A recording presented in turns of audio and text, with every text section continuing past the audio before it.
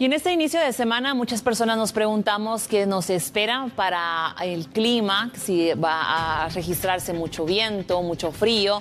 Y justamente queremos comentarle que Conred ya dio a conocer de un frente frío que ellos indican que continúa el monitoreo al frente frío que está acercándose al norte de Petén a partir del martes 13 por la noche, el cual estará generando incremento de nubosidad y posibilidad de lluvias con corta duración en regiones del norte al centro del país. Es lo que nos está comentando entonces, están monitoreando el ingreso de este nuevo frente frío que pues ingresará a nuestro país por el departamento de Petén y que estará afectando entonces a nuestro territorio a abrigarse muy bien, a tomar en cuenta las recomendaciones que siempre se la damos aquí en TN Todo Noticias por parte también de los expertos, por supuesto. Vamos a seguir hablando del tema del clima que le comentamos que es bastante importante que sepamos porque nuestra compañera reportera Ligia Toledo se ha dirigido a entrevistar a los expertos para que conozcamos el siguiente reporte. Esto fue lo que nos dijeron a las cámaras de TN Todo Noticias. Escuchemos, adelante.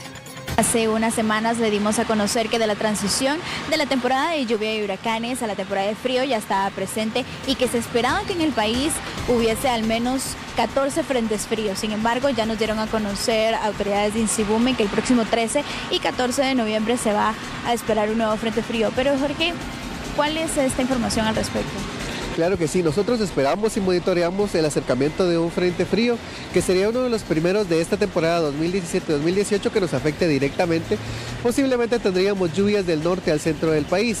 Los nublados y las llovinas podrían estar presentes la mayor parte del, eh, periodo en esas regiones y en el área central podríamos también tener algunas llovinas en horas de la mañana y al final de tarde.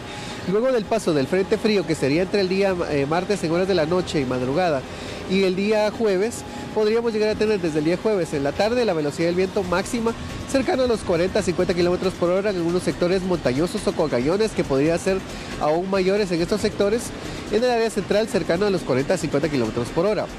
Eso también favorece, junto con los nublados, a que tengamos una eh, sensación térmica mucho menor a la que tenemos actualmente y tendríamos temperaturas máximas cercanas a los 23 a 25 grados, pudiendo ser mucho menor debido a esta velocidad del viento.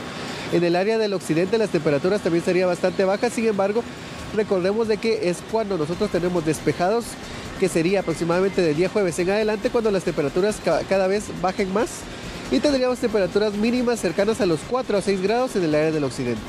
Perfecto. En este sentido, ¿cuáles serían los departamentos en donde se sentirá más frío?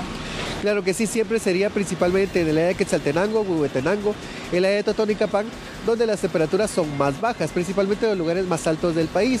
Eh, recordemos de que hay poblados como Ichihuán, que son eh, los, poblados más altos del país, y de Centroamérica poblados, por lo que esperaríamos de que las temperaturas sean cercanas bajo cero eh, en esos sectores eh, más altos del país. Sin embargo, esperaríamos que las temperaturas ronden entre los menos 1 a 1 grado en esos sectores más altos.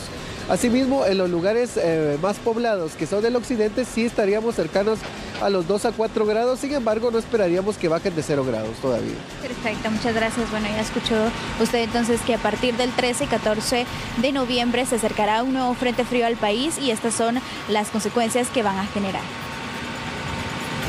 Muchas gracias Ligia por esta información bastante interesante y debido a la época de fin de año pues siempre es evidente los cambios bruscos de temperatura, así que lo que nos queda es prepararnos, abrigarnos, protegernos más a los niños, a las personas de la tercera edad, vacunarse también contra la influenza que es bastante oportuno según los expertos, cubrir boca y nariz así evitar la exposición directa a contaminantes ambientales también y evitar estos cambios bruscos de temperatura si usted pues se piensa bañar, a dar una ducha con agua caliente.